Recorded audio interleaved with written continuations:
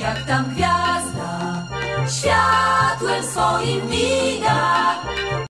Krokiem śmiałym i wesołym śpieszmy i uderzmy czołem przed Panem Betlejem Betlejem.